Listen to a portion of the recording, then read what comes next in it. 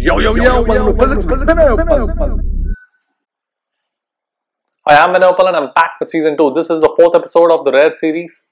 In this episode, I'm going to ask you to find out an error that has been present in a very, very famous textbook. It was my undergraduate textbook and it is used uh, all over the world. But uh, there has been an error in this, uh, in the cover page of this textbook for 50 years. So, can you be the one to do it? So let me first explain what the cover page diagram is all about. So suppose you consider a gravitational uh, force uh, under which a particle is performing motion. So let's say that you have a particle which is experiencing a force, a central force, which is uh, directed towards the point O always. And if that force was proportional to 1 by r squared, it is an attractive force. Then it will be like gravitation like gm by gm1 m2 by r squared uh, an attractive force. And the trajectory will be one of the conics. If we assume that the particle does not have enough energy to go to infinity then it will be a bounded orbit. And bounded orbit uh, would mean it will be an ellipse or a circle. Circle is a special case of an ellipse. Now if the force were some other function of r it is still attractive and it is still um, pointing towards uh, the fixed point O always. So the trajectory uh, need not be an ellipse, trajectory need not be one of the conic sections.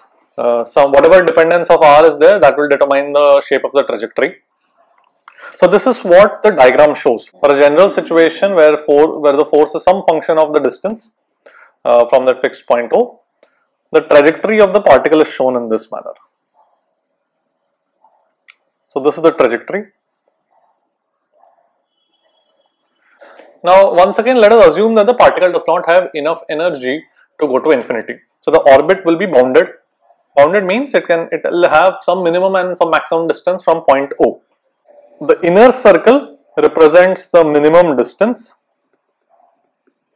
and the outer circle here represents the maximum distance.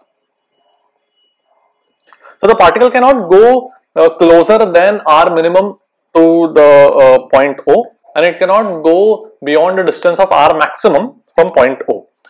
So if you just consider two imaginary circles of radius r minimum and r maximum, the trajectory of the particle has to be contained between these two circles. The circles are centered at that fixed point O towards which the force is directed. Now, my question is, there is a huge error in this diagram.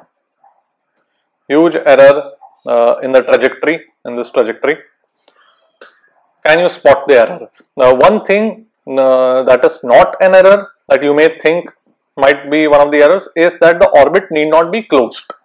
For 1 by r square, the ellipse orbit is closed, but, but in general, the orbit need not be closed. So, closed meaning it is a closed loop. Uh, that is not necessary. So, that is not the error but there is some other major error and you require only very basic uh, JEE, JEE level physics. It's not very uh, complicated. It's just very JEE level physics to figure out the error. Uh, it's very surprising that for 50 years people could not spot it or people did not point it out. Think about it and post your uh, thoughts in the comment section. I'll have a look. Alright, that's it for today. See you guys. Good night.